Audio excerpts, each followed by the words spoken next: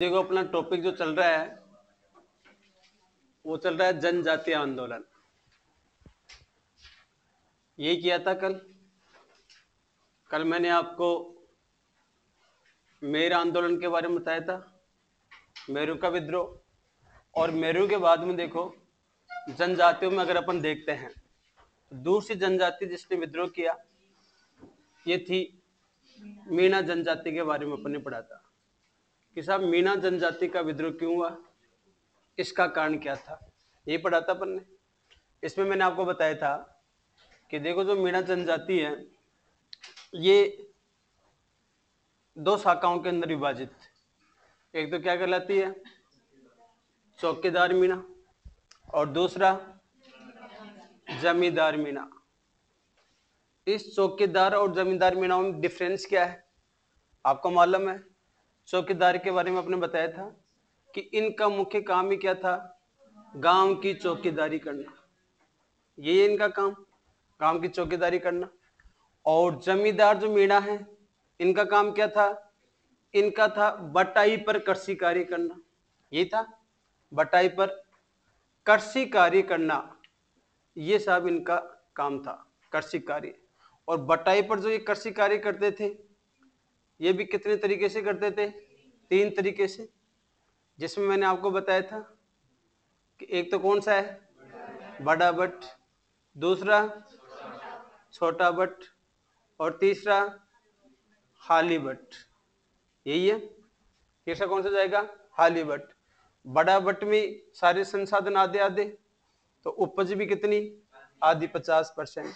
छोटा बट में सारा खर्चा तो मालिक का और जो मीणा परिवार है, उसकी सारी मेहनत, इसकी बात करेंगे अपन तो छोटा बट में कितना हो जाएगा?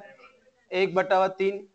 इधर हाली बट की बात करें तो हाली बट में कितना है? एक बटा बटावा चार बाग इसमें कितना हो जाएगा? एक बटा बटावा चार बाग ये तो देखो अपना कृषि कार्य था। अब हुआ क्या कि जो ये चौकीदारी, मीणा चौकीदारी का काम करते थे इनके कारण से मीणा जनजाति थी। उसके प्रारंभ में इनके ऊपर यूँ कह सकते हैं दब्बा था कि इनको चोर प्रवृत्ति का समझा जाता था कि साहब जो चोरी करते थे, ये चोरी करने का जो कार्य है, ये चोरी करने का कार्य ये मीणा ही करते हैं और विशेष रूप से इन मीणाओं की भूमिका से ही या इन्हीं के सहयोग से क्या होता है, चोरी होती है। तो पूरा बेचारा अल्जाम जो भी आता था, वो किन पे आता था? मीणाओं के ऊपर आता था चोरी का। तो ऐसी स्थिति में देखो सबसे पहले क्या किया जाता है? जो भारत सरकार है, इस भारत सरकार ने 1924 उन्नीस चौरासी के चौबीस चौबीस के अंदर ट्रिब्यूनल क्रिमिनल एक्ट, यानी जनजाति आपका उसको क्रिमिनल एक्ट पारित किया। Tribunal criminal act. एक क्रिमिनल एक्ट पारित करते हैं 1924 के अंदर। और इसी ट्रिब्यूनल क्रिमिनल एक्ट को दादरी एक्ट के नाम से जाना गया। किस नाम जानते हैं इसको? दादरी एक्ट के नाम से जाना गया। इसी ट्रिब्यूनल क्रिमिनल एक्ट का रूप, जिसका नाम था जराइम पैसा। क्या था साहब? जराइम पैसा। तो ये जराइम पैसा के नाम से जराइम पैसा कानून 1930 1929 30 के अंदर। 1930 के अंदर ये लागू हो जाता है। 1930 के अंदर ये जराइम पैसा कानून जयपुर रियासत के अंदर लागू किया गया। कौन सी रियासत के अंदर? जयपुर रियासत में। क्योंकि हमें मालूम है, मीणा जो जनजाति है, ये सबसे ज़्यादा इनकी सर्वाधिक जो जनसंख्या है, सर्वाधिक जनसंख्या कौन से ज़िले में रहती है? जयपुर में ही है। और आज की बात करें तो सबसे अधिक पढ़ी लिखी, सबसे अधिक पढ़ी लिखी बात करें और शिक्षित अगर जाति की बात, जनजाति की बात करें तो सबसे ज़्यादा शिक्षित जनजाति भी कौन सी है? मीणा जनजाति है। लेकिन पहले इनके ऊपर ये था एक दाग तो जराइम पैसा कानून लागू किया गया 1930 के अंदर। और 1930 में जब ये जराइम पैसा कानून लागू किया तो इस जराइम पैसा कानून में ऐसा कर दिया कि जो भी महिला पुरुष मीणा महिला और पुरुष 12 वर्ष से अधिक आयु के हैं, उनको क्या करना पड़ेगा? रोज़ाना पास के थाने में हाजिरी देनी पड़ेगी। अब बेचारे काम करें या रोजना पास के थाने में हाजिरी दे तो ऐसी स्थिति में देखो, अब इस जराइम पैसा कानून के विरोध के लिए इन लोगों में जागृति पैदा करता है और जागृति पैदा करने में महत्वपूर्ण जो भूमिका रहती है, ये रहती है मोनी मगन सागर की। मोनी मगन सागर की, मैंने आपको बताया था कि ये मुनि मगन सागर एक जैन मुनि, इसी ने मीणा पुराण जो मीणा पुराण ग्रंथ है, मीणा पुराण ग्रंथ इन्होंने लिखा, और इन्होंने बताया था कि साहब मीणाओं के कितने गोत्र हैं? बावन सौ गोत्र। कितने गोत्र बताए गए थे मीणाओं के? बावन सौ गोत्र मीणाओं का बताता है, और मीणाओं में सुधार के लिए, सुधार के लिए बहुत सारे कार्य करता है, इसीलिए इसको मीणाओं का सुधारक भी कहा जाता है। मुनि मगन सागर को। और इसी मुनि मगन सागर की प्रेरणा से ही 1933 1933 के अंदर मीणाओं ने मीणा क्षेत्रीय सभा की स्थापना की। पहला काम क्या करते हैं ये? मीणा क्षेत्रीय सभा की स्थापना 1933 के अंदर करते हैं। इसके निर्देशन के अंदर यूँ कहें कि इस संस्था के नेतृत्व में इन्होंने आंदोलन जारी रखा, लेकिन वास्तव में आंदोलन गति पकड़ता है। उन्नीस के अंदर। समझाया था मैंने कल भी आपको? उन्नीस में एक सम्मेलन होता है, और ये सम्मेलन कहाँ पर होता है? नीम का थाना। कहाँ पर है? सीकर के अंदर है। यहाँ पर भी मीना बड़े पढ़े लिखे हैं। तो नीम का थाना में एक सम्मेलन का आयोजन किया गया। और नीम का थाना में देखिए जो ये सम्मेलन का आयोजन होता है, इस सम्मेलन की जो अध्यक्षता करता है, ये अध्यक्षता कौन करता है? पंडित बंशीधर शर्मा। पंडित बंशीधर जी शर्मा इसकी अध्यक्षता करते हैं। मुनि मगन सागर की प्रेरणा से इस सम्मेलन का आयोजन होता है और एक मीना नेता जो इसके अंदर भाग लेता है, उसका नाम क्या था? लक्ष्मी नारायण जी झरवाल। कौन थे साहब? लक्ष्मी नारायण जी झरवाल भी इसके अंदर भाग लेते हैं। और इसमें यह तय किया गया कि हमें हर स्तर के ऊपर इस जराइम पैसा कानून को उठाने के लिए विरोध करना है और राष्ट्रीय स्तर के जो नेता हैं, उनको भी इस समस्या से अवगत कराना है। ऐसा ही फिर एक सम्मेलन 1944 लास्ट के अंदर ही, देखो श्री माधोपुर के अंदर भी होता है। तो श्री माधोपुर ये भी सीकर डिस्ट्रिक्ट में है और निमका थाना भी सीकर डिस्ट्रिक्ट में दोनों के अंदर मीनाओं का सम्मेलन हुआ।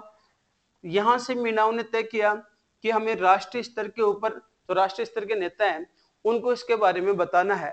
तो ऐसी स्थिति में आपको मालूम होगा कि दिसंबर 1945 के अंदर, दिसंबर 1945 के अंदर उदयपुर में, कहाँ पर साहब?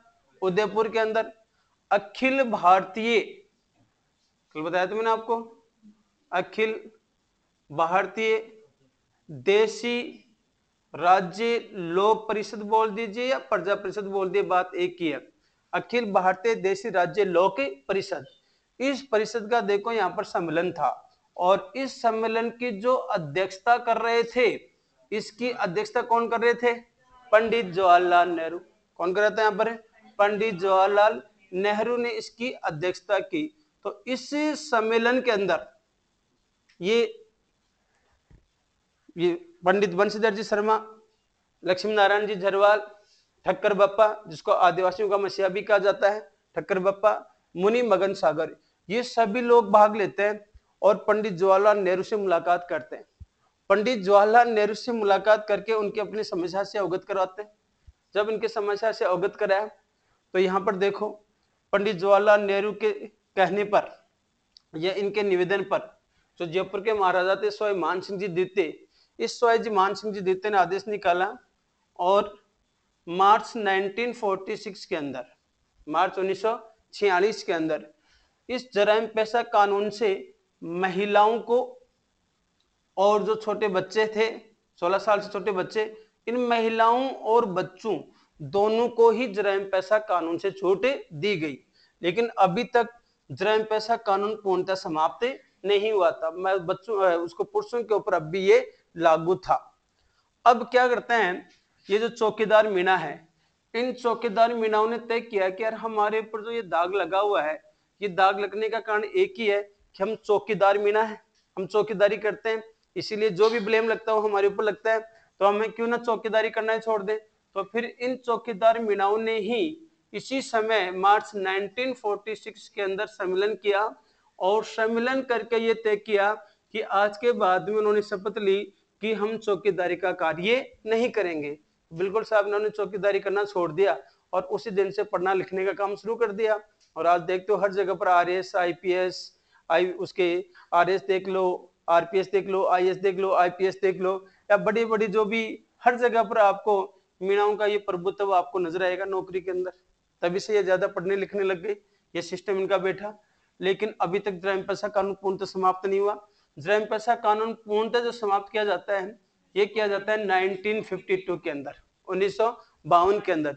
उन्नीस सौ बावन में जब हमारे यहाँ पर एक चुनी हुई लोकतांत्रिक सरकार का गठन होता है और चुनी हुई लोकतांत्रिक सरकार जब बनी तो इस चुनी हुई लोकतांत्रिक सरकार ने ही जराइम पैसा कानून को हमेशा हमेशा के लिए समाप्त कर दिया।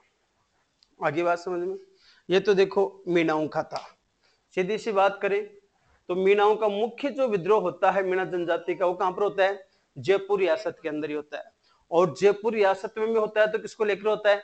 जराइम पैसा कानून को लेकर होता है। जराइम पैसा को ही और किस नाम जानते हैं? दादरी एक्ट के नाम से। क्योंकि भारत सरकार ने ट्रिब्यूनल क्रिमिनल्स एक्ट जो लागू किया था 1924 के अंदर, उसी को दादरी एक्ट भी कहा गया और उसी को 1930 के अंदर कहाँ पर लागू किया गया? जयपुर के अंदर लागू किया गया। इसके विरोध में दो सम्मेलन होते हैं। कहाँ कहाँ पर होते हैं? एक तो नीमका थाना में और एक श्री माधोपुर के अंदर। दोनों कब होते हैं? उन्नीस सौ चौवालीस में। किसके परिणाम से होते हैं? मुनि मगन सागर के परिणाम से। और अध्यक्षता कौन करता है? बंशीधर जी शर्मा। मीणा नेता जो इनमें भाग लेता है वो कौन था? लक्ष्मी नारायण जी झरवाल। कौन लेता है? लक्ष्मी नारायण झरवाल। इसके बाद में मीणा नेता किससे मिलते हैं? उदयपुर के अंदर पंडित जवाहरलाल नेहरू से मिलते हैं। पंडित जवाहरलाल नेहरू यहाँ पर किस लिए आए हुए थे? अखिल भारतीय देशी राज्य लोक परिषद का सम्मेलन यहाँ पर चल रहा था और उसके अध्यक्ष कौन थे? पंडित जवाहरलाल नेहरू। उसी वक्त मिले। तो ऐसी स्थिति के अंदर महिलाओं और बच्चों को छूट कब दी गई? मार्च उन्नीस सौ छियालीस में। और पूर्ण रूप से अगर ये जो जरमपसा कानून समाप्त होता है, वो कब होता है? उन्नीस सौ बावन के अंदर। बताओ, समझ में नहीं आया? ये तो देखो, मीणाओं का था। और मीणाओं के बाद में अब मुख्य रूप से जो आंदोलन होता है, वो किनका था? भीलों का। तो अब अपन दूसरा में एक बार आपको समझा देता हूँ, भील जनजाति आंदोलन। ठीक है साहब? अब अपन करेंगे भील जनजाति आंदोलन।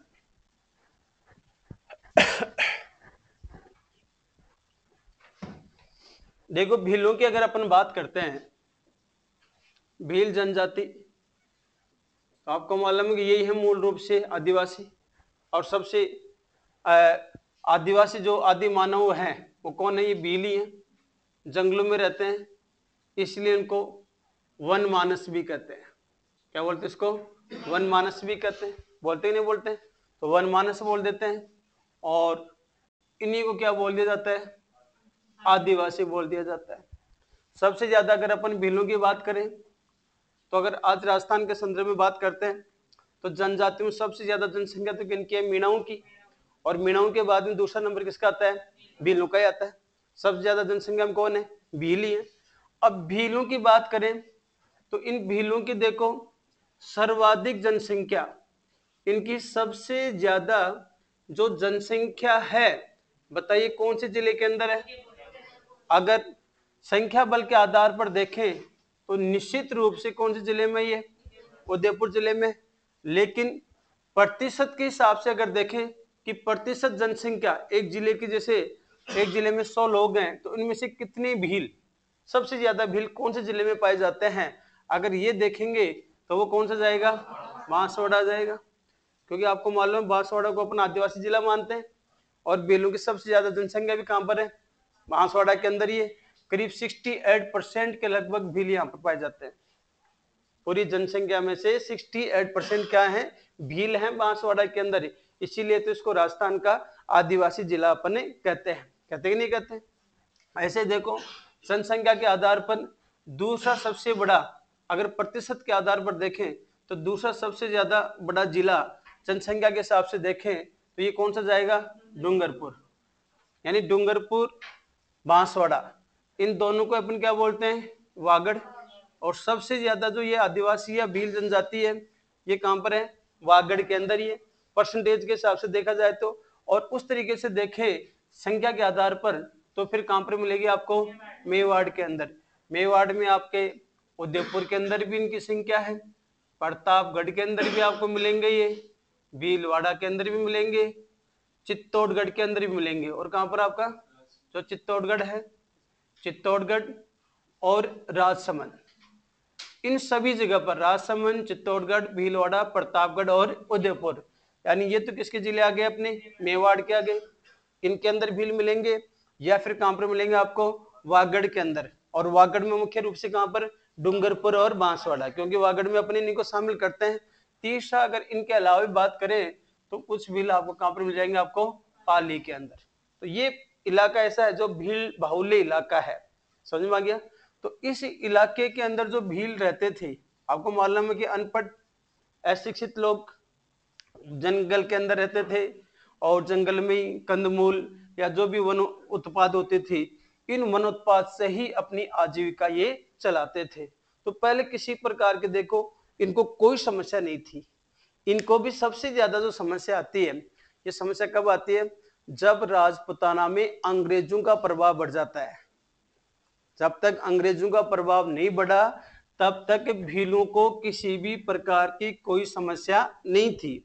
इनके सबसे ज़्यादा जो आंदोलन करने के लिए इनको मजबूर होना पड़ा। तो ये मजबूर होने का मुख्य कारण ये था कि अंग्रेज़ों के आने के बाद इनके जो इनके जो परंपराएँ हैं, इनकी परंपराओं में हस्तक्षेप किया जाने लगा। और आदिवासी कहते किसे? है या जनजाति जनजाति किसे कहते हैं?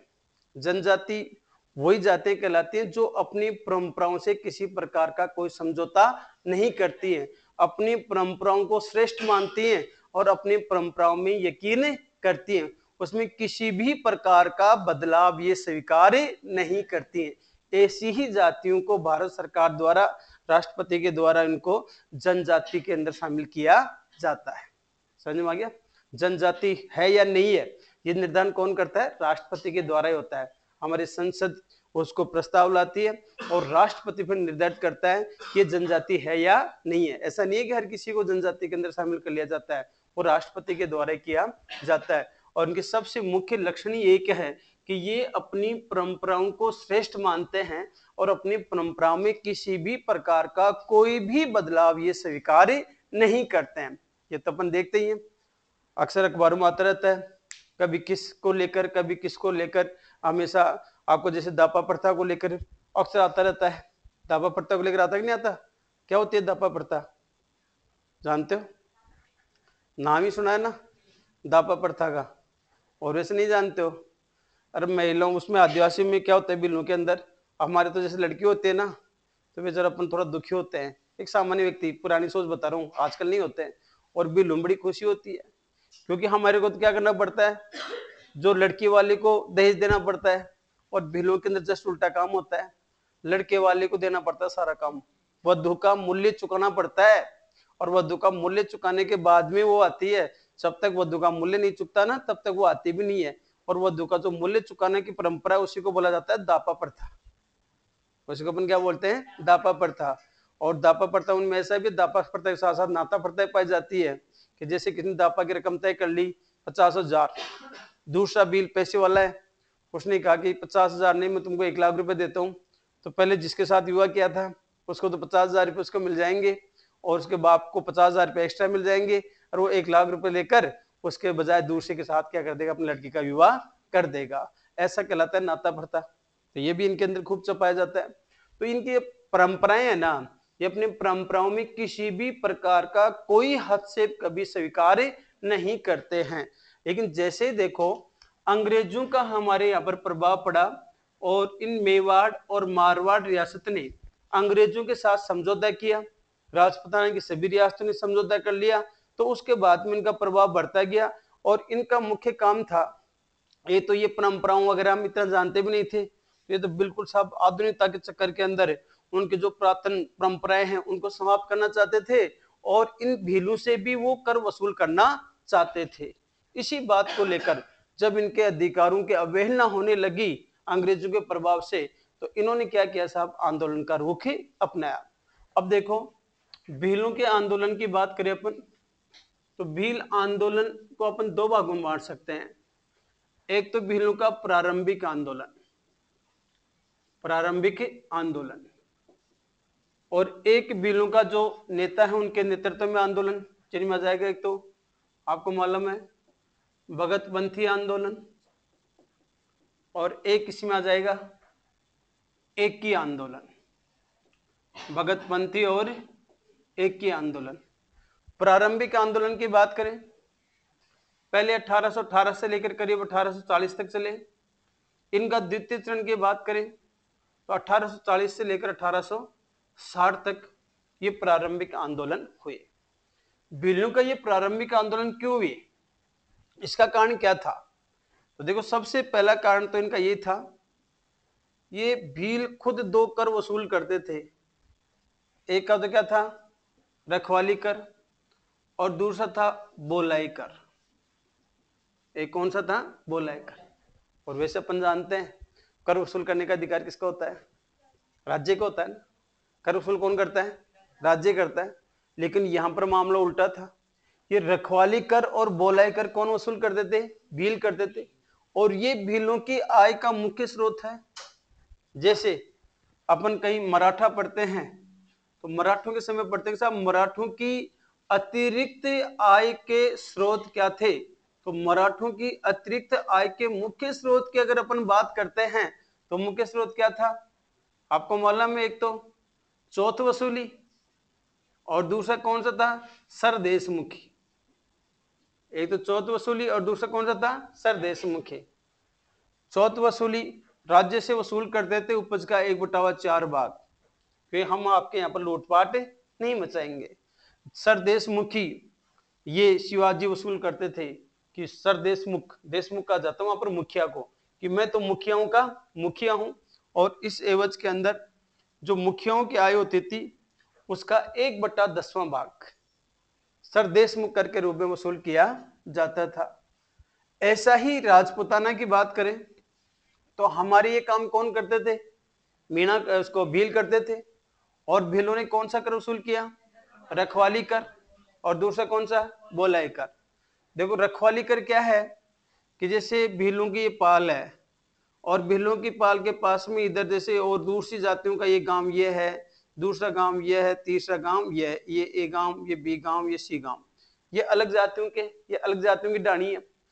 तो इनके यहाँ कोई लूटपाट नहीं मचाए और अपने इलाके के पास में इनको सुरक्षित ये रहने दे रहे हैं। इसके एवज के अंदर ये क्या करते थे? एक निश्चित रकम इनसे वसूल करते थे और वही निश्चित रकम क्या कहलाती थी? रखवाली कर कहलाती थी। आजकल नहीं होते गाँव में?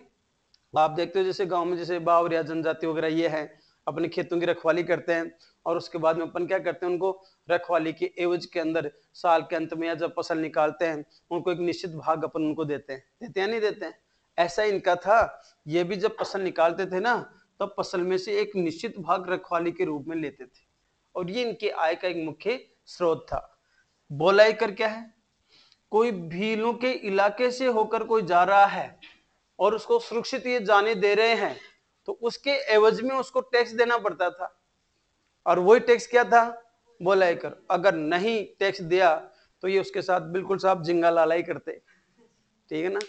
जिंगा लाला का मतलब है उसके साथ ऐसा व्यवहार करते कि उसको जाने नहीं देते, उसको किसी प्रकार के शारीरिक सत्य पहुँचा सकते थे और पहुंचाते थे। तो मजबूरी में उनको क्या करना पड़ता था? ये बोलाई कर उनको देना पड़ता था। विशेषकर देखो, उस वक्त जो एक लिंग जी के आते थे, आपको मालूम है, एक लिंग जी के विचार और देखोगे आप कैलाशपुर के आसपास में तो ये भी भील इलाका ही है। यहाँ पर भी कौन रहते जाते भील ही रहते हैं ना। दूसरा ऐसे ही ऋषभ देव जी की बात कर लो आप ऋषभ देव जी के भी आसपास में कौन है ज़्यादातर? भीली है। तो यहाँ पर दोनों प्रसिद्ध स्थान है।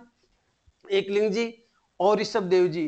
तो कोई भी श्रद्धालु जो यहाँ पर आता इस इलाके के अंदर और वो बिलों के इलाके से आता तो उन्हें एक निश्चित रूप में बोलाई कर बिलों को देना ही पड़ता। जब तक ये बोलाई कर नहीं देते, तब तक इनको इधर से नहीं गुजरने दिया जाता। आगे बात समझ में? तो किस ना जाए कि साहब रखवाली कर या बोलाई कर किन के द्वारा वसूल किया जाता था? बिलों के द्वारा। बिलों के द्वारा वसूल किए जाने वाले कर कौन कौन से थे? रखवाली कर और बोलाई कर। अब अंग्रेज़ों को ये नागवार गुजरा कि यार कर वसूल करने का काम तो कौन करता है? अरे कल वसूल कर वसूल करने का काम तो केवल और केवल राज्य का होता है। राज्य वसूल कर सकता है। ये भील कौन होते हैं कर वसूल करने का? तो एक तो देखो उन्होंने जो अंग्रेज़ों के प्रभाव से, आपको मालूम होना चाहिए, तेरह जनवरी 1818 को मेवाड़ ने अंग्रेज़ों के साथ समझौता कर लिया था। ऐसे ही जनवरी 1818 में ही, जनवरी 1818 के अंदर ही जो मारवाड़ है, ये मारवाड़ भी अंग्रेज़ों के साथ समझौता कर लेती है। इसी समय आपको मालूम होगा, अजमेर मेरवाड़ा का जो इलाका है, इस अजमेर मेरवाड़ा के इलाके पर सीधा सीधा किसका नियंत्रण था? अंग्रेज़ों का नियंत्रण था। यह था अंग्रेज़ों का नियंत्रण। तो ये लोग क्या चाहते थे? ये लोग यही चाहते थे अंग्रेज़ कि एक ज़्यादा से ज़्यादा रेवेन्यू एक्ट हो, यानी राजस्व बढ़े। जो राजस्व बढ़ेगा तो इनमें से इसका हिस्सा ज़्यादा आएगा। तो राजस्व बढ़ाना चाहते थे। अब राजस्व बढ़ाने के लिए इन्होंने क्या किया कि जो भीलों का इलाका है, जैसे भीलों का एक तो इलाका कौन सा था? भोमट कौन सा इलाका? भोमट सीधी से मोटी सी बात, इस प्रकार से याद कर सकते हैं। कि उसका मेवाड़ का भील बाहुल्य क्षेत्र क्या कहलाता है? बोमट विशेषकर अरावली का पर्वतीय क्षेत्र, जहाँ पर भील जनजाति बहुसंख्या में निवास करती है, वो क्षेत्र क्या कहलाता है? बोहमट के नाम से जाना जाता है। आगे बात समझ में?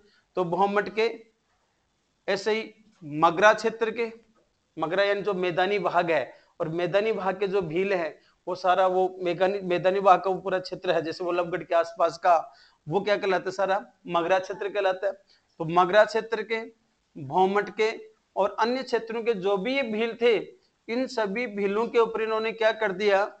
एक तो इनकी वनोत्पाद पर कर लगा दिया कि वनों के ऊपर जो वनों से उत्पाद प्राप्त कर रहे हैं, इनके ऊपर भी राज्य का हिस्सा होना चाहिए।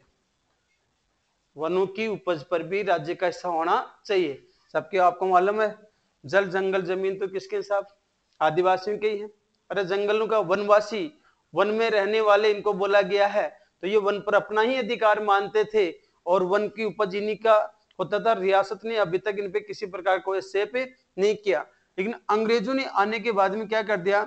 ये तो इनके वनोत्पाद के ऊपर रोक लगा दी साहब। कि वनोत्पाद करोगे तो आपको इसके बदले में क्या करना पड़ेगा? टैक्स देना पड़ेगा। एक इन्होंने क्या कर दिया?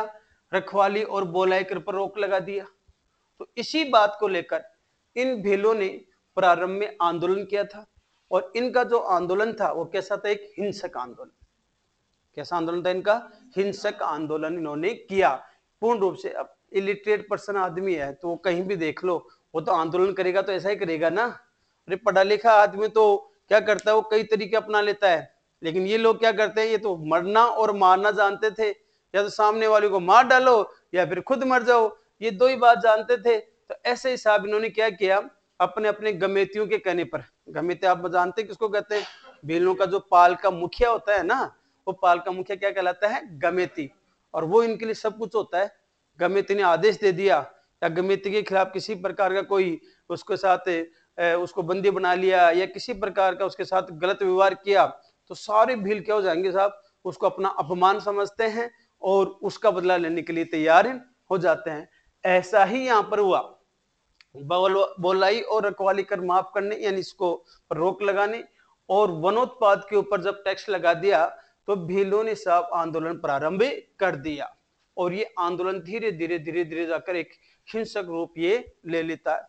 अब इस आंदोलन को रोकने के लिए देखो, सबसे पहले तो उन्होंने क्या किया? 1935 के अंदर एक बटालियन की स्थापना की, जोधपुर लीजन। कौन सी? जोधपुर, लीजन की, मेवाड़ और मारवाड़, दोनों ने मिलकर। दोनों के कहने पर काग साहब, जोधपुर, लीजन एक बटालियन की स्थापना की और इस जोधपुर, लीजन का जो मुख्यालय बनाया गया, ये मुख्यालय कहाँ पर बनाया गया एरिनपुरा, जो कहाँ पर पड़ता है, पाली के अंदर। आपको मैंने क्रांति के समय बताया था, एरिनपुरा में विद्रोह। पूर्वी सैनिकों ने और जोधपुर, लीजन ने। तो यहाँ का जो जोधपुर, लीजन का मुख्यालय था ये मुख्यालय कहाँ पर था एरिनपुरा के अंदर। और इस जोधपुर लीजन की स्थापना का उद्देश्य एक ही था, मारवाड़ और मेवाड़ के सीमा के पास में जो ये भील हैं, इन भीलों के विद्रोह को दबाने के लिए इन्होंने जोधपुर लीजन की स्थापना की थी। आगे बात समझ। लेकिन देखो, जोधपुर लीजन पूर्ण रूप से भील आंदोलन या विद्रोह के ऊपर नियंत्रण करने के अंदर असफल रही। पूर्ण रूप से सफल नहीं हो पाई।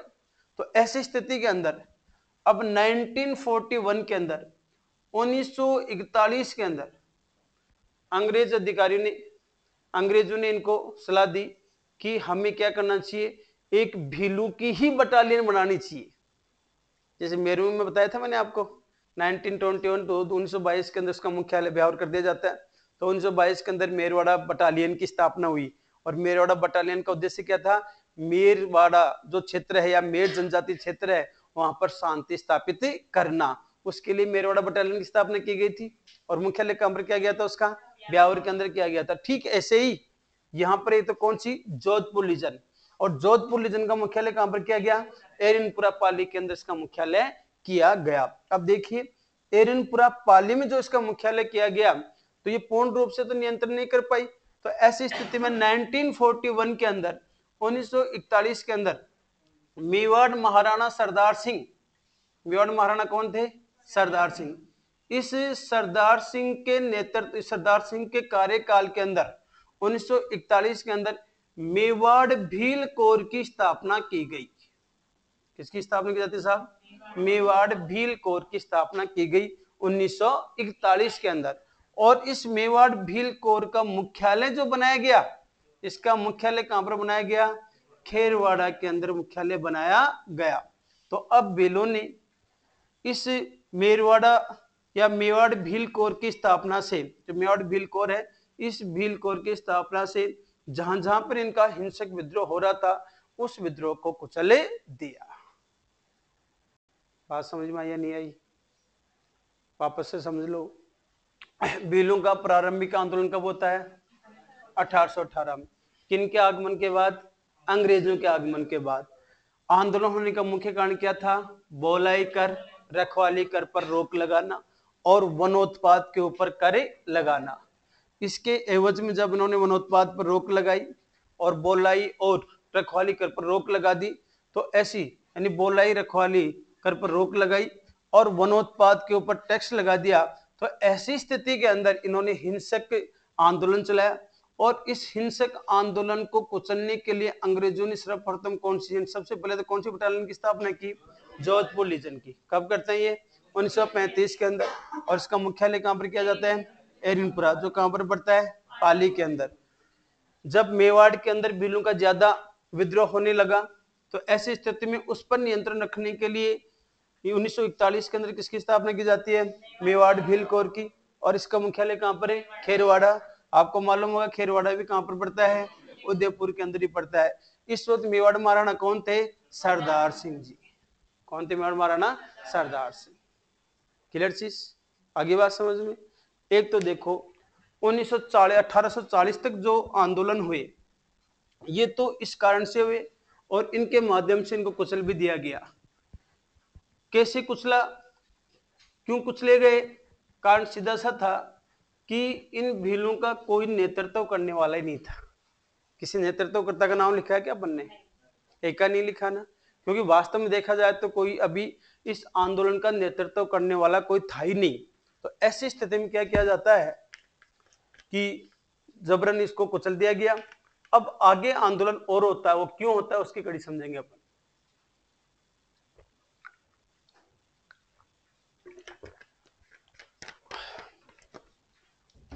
देखिए,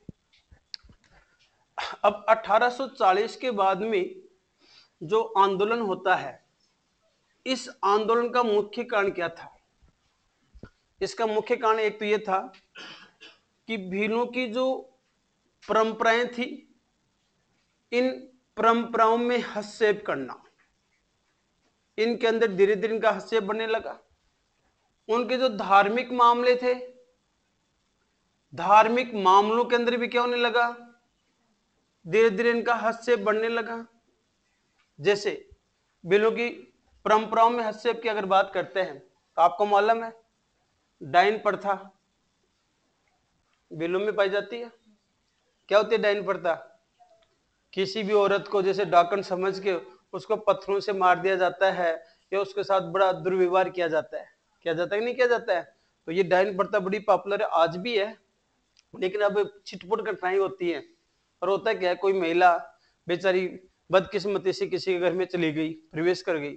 उसी वक्त उसको वहाँ पर कोई लड़का बीमार हो गया, या कोई मर गया, या कोई पशु बीमार हो गया तो गाँव के अंदर वही अंधविश्वास है कि वो आई थी, फलानी आई थी, और वो मेरे बेटे को खा गई, वो डाकन है।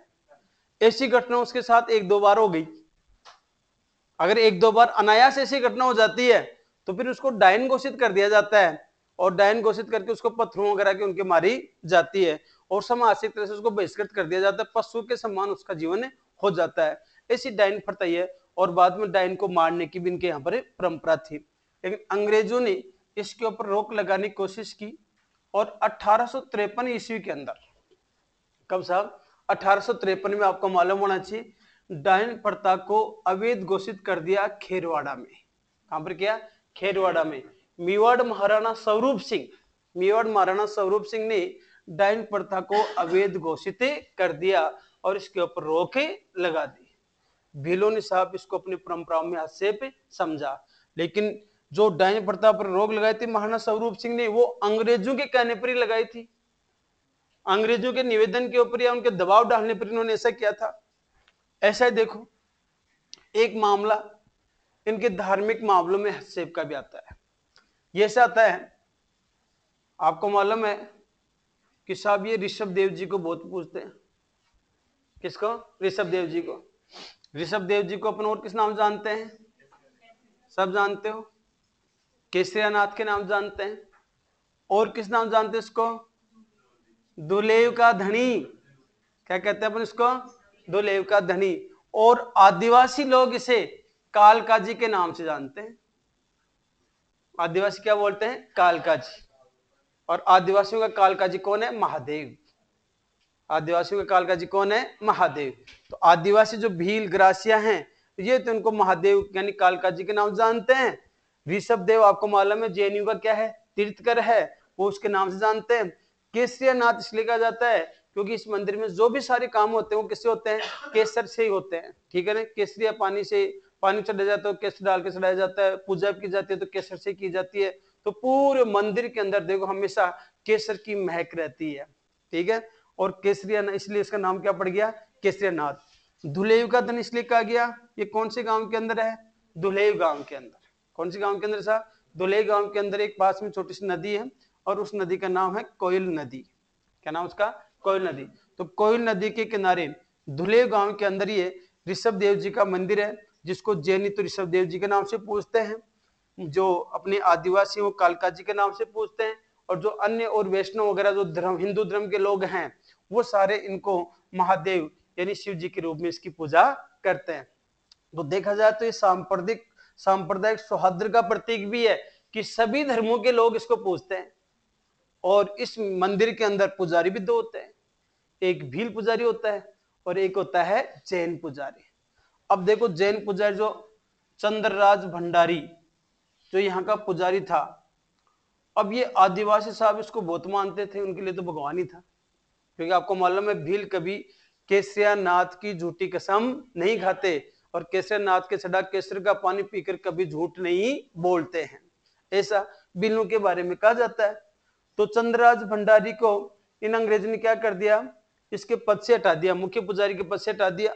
और केसरिया नाथ जी के मंदिर को सरकारी नियंत्रण में ले लिया?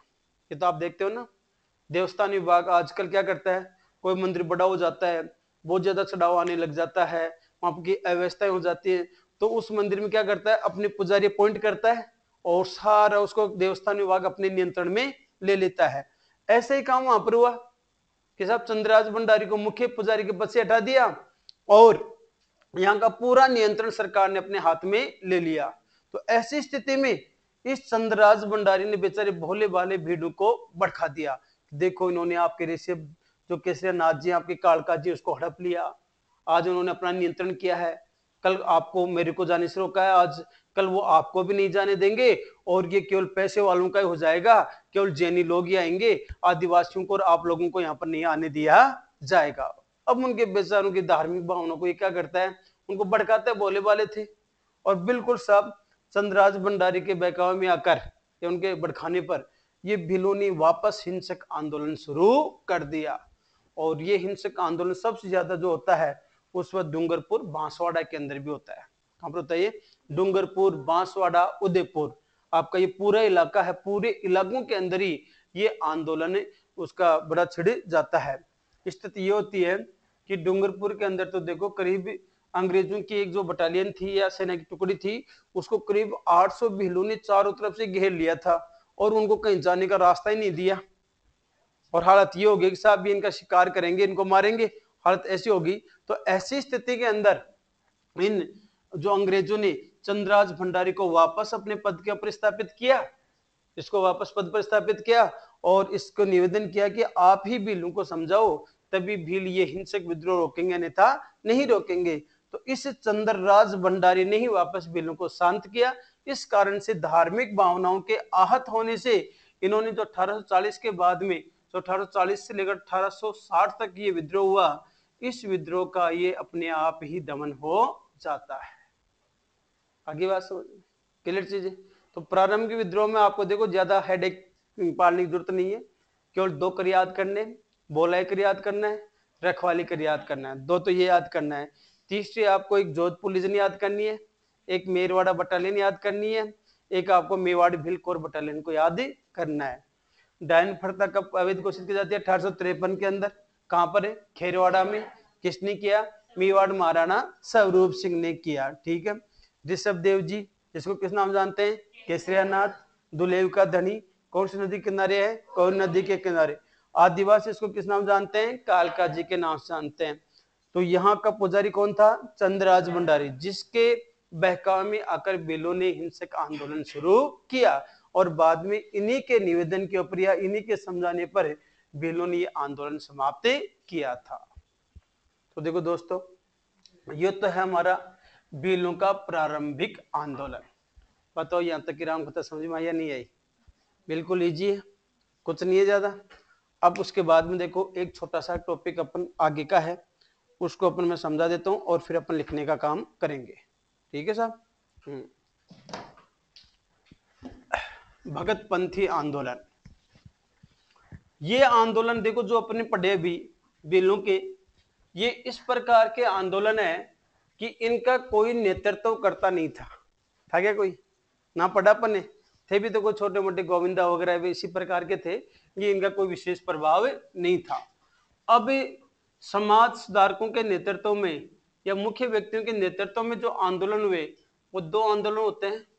एक तो भगत पंथी आंदोलन। कौन सा साहब? भगत पंथी आंदोलन। तो पहले देखो अपन, भगत पंथी आंदोलन की बातें करेंगे। भक्तपंथी आंदोलन शुरू करने का आपको मालूम है श्री किसको जाता है? अरे इसके प्रवर्तक कौन है?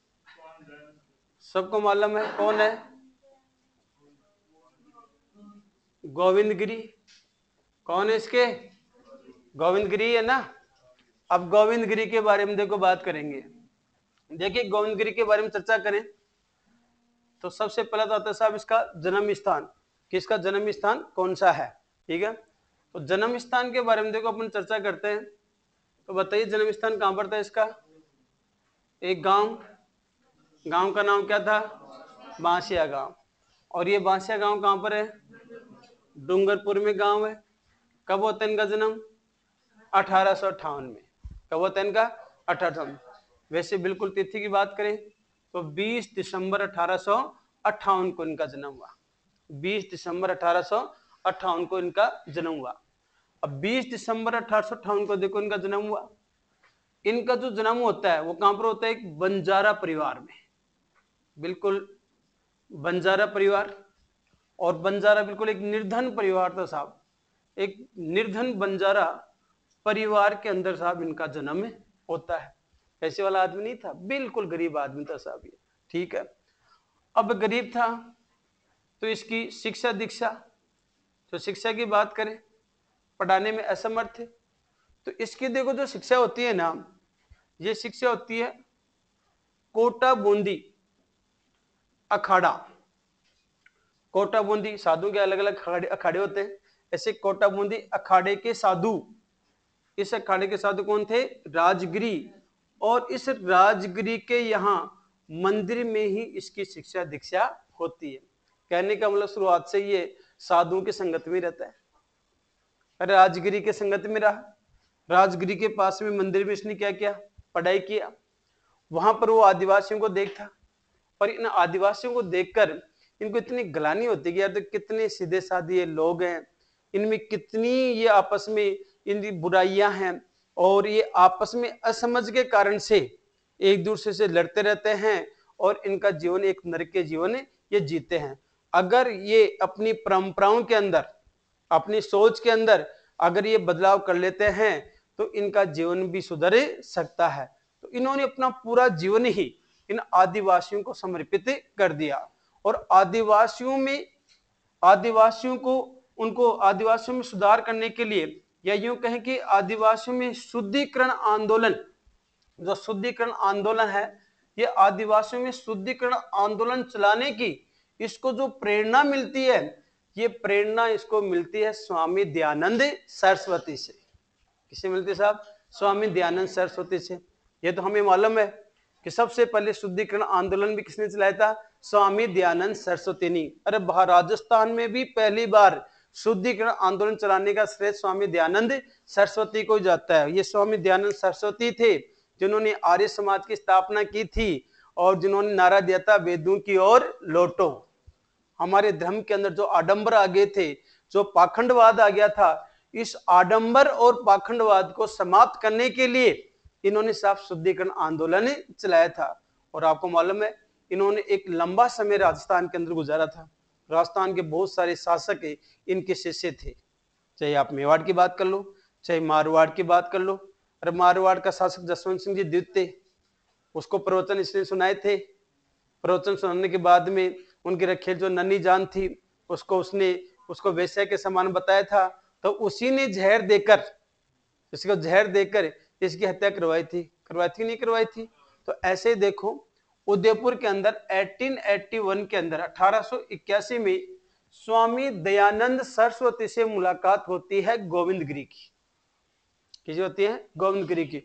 और इनसे प्रेरणा पाकर इन्होंने भी अपना पूरा जीवन बिहलों को समर्पित कर दिया और ये भी स्वामी जी की तरह एक शुद्धिकरण आंदोलन चलाना चाहते थे। तो बिहलों के अंदर ये धार्मिक और सामाजिक दोनों ही प्रकार का सुधार करने के लिए आंदोलन चलाया। तो देखो इसका आंदोलन ऐसा था, उसको एक सामाजिक आंदोलन की श्रेणी में भी अपन रख सकते हैं और एक धार्मिक आंदोलन की श्रेणी में भी अपन उसको रख सकते हैं, क्योंकि भीलों में इसने धार्मिक और सामाजिक दोनों ही स्तरों के ऊपर इसने क्या किया? सुधार किया। बिलो ने माना भी साहब इसको और देखते देखते इसका आंदोलन एक बड़े क्षेत्र के अंदर फैल जाता है। अब इसके लिए इसने क्या क्या कार्य किया, कैसे किया, उसकी देखो अपन चर्चा करेंगे। सबसे पहले तो उसने क्या देखा कि देखो इन भीलों को सुधारने का सबसे उत्तम तरीका एक ही है। भीलों को क्या? कोई भी व्यक्ति किसी भी इंसान को सुधारने का तरीका एक ही होता है। लातों से और लकड़ी से भैया किसी को नहीं सुधारा जा सकता। और वो मूर्ख लोग होते हैं जो लातों से और लकड़ी से किसी को सुधारते हैं। ये फैक्ट बात है। किसी को सुधारना है तो सबसे पहले उसकी साइकोलॉजी चेंज करो। अगर व्यक्ति की मानसिकता बदल जाती है ना, और वो खुद कुछ सोचने लग जाता है तो ही वो कुछ करेगा। आप में से ऐसे हैं कई लोगों को ज़बरदस्ती घर वालों ने भाई नौकरी, पिताजी नौकरी है, भाई नौकरी में है, और और भी नौकरी के अंदर है। तो यार घर वाले चाहते हैं कि मेरा छोरा या मेरी छोरी भी नौकरी लग जाए। आपको ज़बरदस्ती साहब भेज दिया, और आपकी इच्छा नहीं है ना तो ज़िंदगी में आप नौकरी नहीं लगोगे। और जिस दिन आपको खुद के अंदर मन से कहने लग गया, मेरे को तो नौकरी लगना ही है, और ये आग लग गई ना तो फिर आपकी नौकरी को कोई रोकने वाला भी नहीं है। तभी तो कहते भैया, मन के जीते जीत मन के हारे हार। ये अपना मन ही है। इसको बदल लिया कि मैं मैं कर सकता हूँ तो निश्चित रूप से अपन करेंगे। और मैं नहीं कर सकता हूँ, ये सोच लिया तो चाहे होने वाला काम है ना, वो काम भी नहीं होता है। ऐसा है देखो, इस गोविंद गिरी ने साफ़ किया बिलों के साथ। गोविंद गिरी बिलों में सामाजिक और धार्मिक दोनों स्तरों के ऊपर सुधार करना चाहते थे और दोनों स्तरों पर सुधार करने के लिए सबसे पहले इन्होंने जो तरीका अपनाया, वो अपना अपनाया धोनी का। किसका अपनाते साहब? धोनी का। ये धोनी की स्थापना करता है और धोनी की स्थापना करता है अठारह के अंदर। हाँ? धोनी बताता हूँ क्या है अभी? धोनी की स्थापना करता है अठारह के अंदर। अपने गाँव, बेडसा। ये बेडसा देखो, कोई अलग गाँव नहीं है। जो बांसिया है ना, इस बांसिया कोई बेडसा गाँव से जानते हैं। तो चाहे आप बांसिया बोल दो, चाहे क्या बोल दो आप इसको? बेडसा। इस बेडसा या बांसिया गाँव के अंदर अठारह में इसने धोनी की स्थापना की। धोनी की स्थापना करके साहब सात कलर के सात झंडे गाड़ दिए इसने। और प्रत्येक धुनी के ऊपर एक कोतवाल नियुक्त कर दिया। और भीलों को बोला, आप समझोगे अपने, आप देखो धोनी क्या है। भीलों को बोला कि जो भी धोनी की सदस्यता लेगा, या धोनी जलाएगा अपने घर पे, या धोनी की सदस्यता लेगा, उसको धोनी के नियम मानने पड़ेंगे। आपसी कोई भी वाद विवाद होता है तो उस वाद विवाद को सुलटाने का काम कौन करेगा? कोतवाल करेगा। जो धोनी जलाएगा उसके लिए नियम फिक्स कर दिए, या धोनी की सदस्यता लेगा कि वो एक तो नित्य स्नान करेगा। पहला काम तो क्या करेगा? नित्य स्नान, रोज़ाना नहाएगा। आधा दिमाग तो यहीं से हो जाएगा। आप मत ना हो देखो। फिर आपका दिमाग कैसे काम करता है? दिन भर, ठीक है ना? कैसे, कैसी अपनी एक्टिविटी करते हैं ऐसे? आपको मालूम है ना? ये चीज़। तो नित्य स्नान, सर्दियों में परीक्षा होती है इस चीज़ की, ठीक है ना? नित्य स्नान एक उसने कहा कि नित्य स्नान तो करना ही करना है। शराब का सेवन बंद। ठीक है? और शराब के साथ साथ उन्होंने कहा कि मांस का सेवन बंद। शराब और मांस का सेवन ये बंद करना पड़ेगा।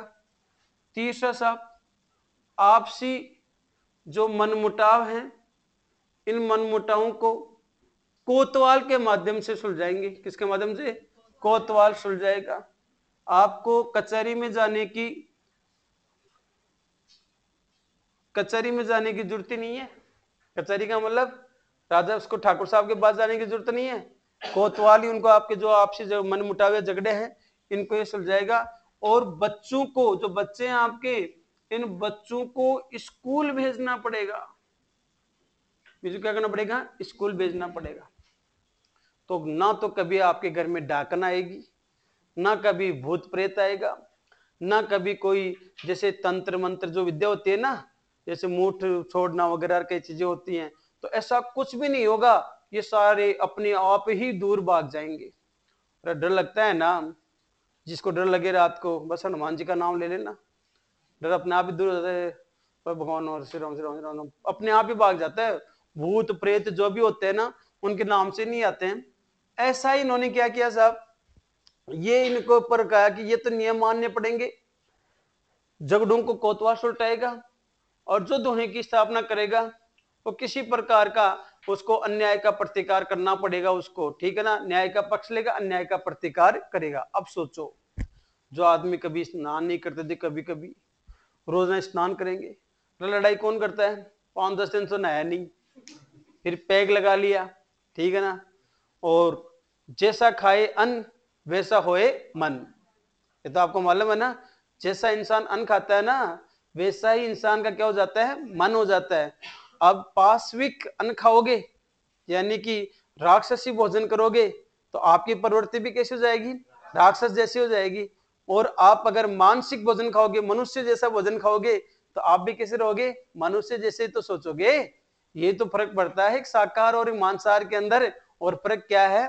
मांसाहार अपना भोजन है क्या? नहीं है ना अपना। किसका है? राक्षसों का भोजन है साहब। मनुष्य का तो हकीकत के अंदर ही नहीं है। और अगर आप उस प्रकार का करते हैं ना तो आपकी प्रवृत्ति भी ऐसी हो जाती है, राक्षस जैसी। तो अब आप मांस का सेवन नहीं करोगे, जो लड़ाई होती थी वो तभी तो होती है। आराम से साहब पार्टी शार्टी करके आते हैं। घर में कुछ जो पैसे थे वो सारे दारू वारू में उड़ा दिए, मांस वांस में उड़ा दिए। घर वाली पैसे मांगती है। पैसे तो होंगे कहाँ से? आते दो चार मार दिए साहब उसके। अब उसमें बेचारी में कैल्शियम की कमी हो जाएगी। ठीक है ना, खाना वाना खाएगी नहीं तो वो बिल्कुल तुल्य हो जाएगी। ठीक है? अब कैल्शियम की कमी हो जाएगी तो उसमें ऐठन आने लग जाएँगी। जैसे ऐठन वगैरह आने लग जाते है, आपको मालूम ऐठन आने लग जाती है कैल्शियम से तो वो बूथनी आने लग जाती है। और खाने की बाद इसमें तो बूथनी आ गई।